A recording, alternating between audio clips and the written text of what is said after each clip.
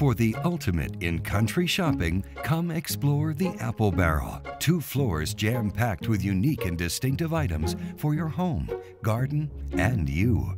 From country cupboards and fabulous home decor to that perfect gift for any occasion, discover a truly overwhelming variety you won't find everywhere else.